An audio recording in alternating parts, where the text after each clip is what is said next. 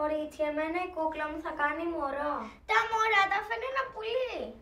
Εμένα τον αδερφό μου τον έφερε στο σπίτι ο θείος Τάκης με το αυτοκίνητό του. Ναι, αλλά ποιος σου το έδωσε; Δεν ξέρω. Χαζομάρες λέτε. Εμένα ο μπαμπάς μου είπε πως κάτι ρίχνω στο φαγητό της μαμάς και εκείνη μετά κάνει παιδιά.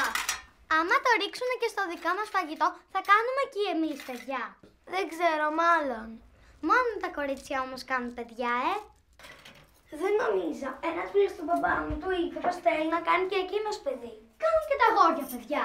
Α, κανείς δεν κάνει, σας λέω. Τα μωρά τα φέρνει ένα πουλί. Ποιο πουλί; Ο πελαργός. Έτσι μου το είπε η μαμά μου. Τι είναι πελαργός; Ένα πουλί. Και μόνο το πουλί πελαργός φέρνει παιδιά. Ναι, σου λέω γιατί; Εμείς σπίτι έχουμε ένα καναρίνι. Λες καμιά μέρα να μας φέρει μωρό. Αποκλείεται, αφού είναι σε κλουβί. Γιατί υπάρχουν πουλιά που δεν είναι σε κλουβί. Ο πελαργός. Και είναι μεγάλο πολύ. Έτσι νομίζω. Μια μέρα άκουσα τη μαμά μου να λέει στον μπαμπά τι μεγάλο πουλί έχεις. Μήπως έχει πελαργό. Α, τότε σένα μπορεί και να σε έφερε το πουλί του μπαμπά σου. Μόνο αν έχει πελαργό.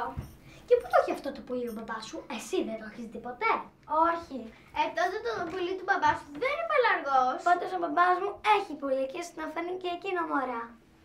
Ο μπαμπάς μου εμένα δεν ξέρω αν έχει πουλί, οπότε πάει καλά που έχουμε και τον θείο Τάκη.